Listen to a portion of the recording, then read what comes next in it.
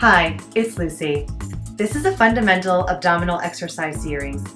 It's an example of the types of exercises we do in my online classes.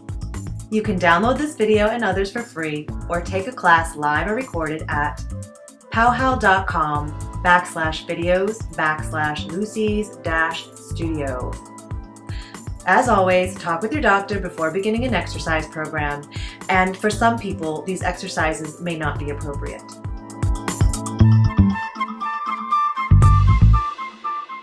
Okay, so today we're going to do some bicycles.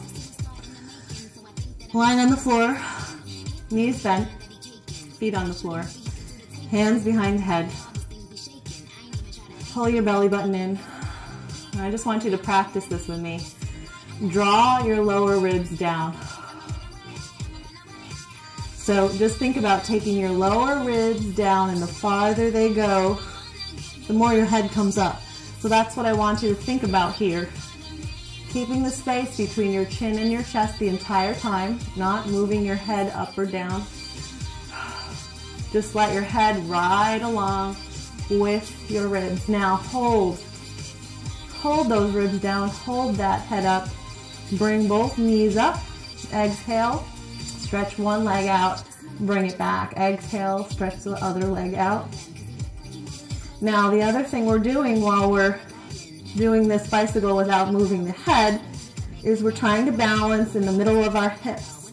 So that sacrum area, the triangle shape of bones that are right at the end of our um, of our spine, that brings our two hip bones together.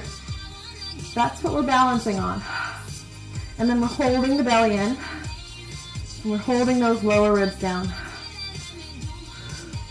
Two more.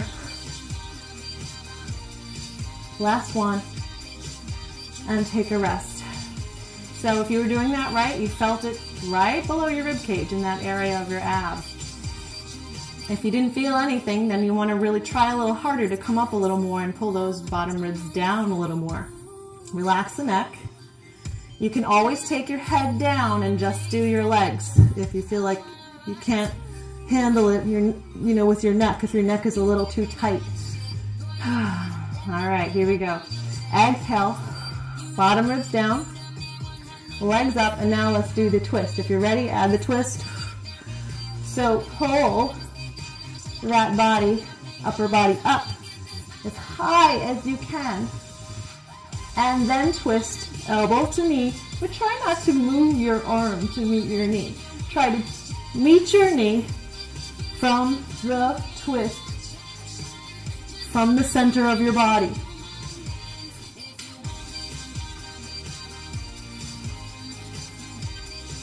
So what we're doing here is we're stopping in the middle.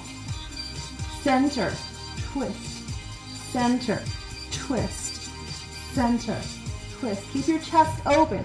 Try not to close those arms in on your chest. And then keep your body up.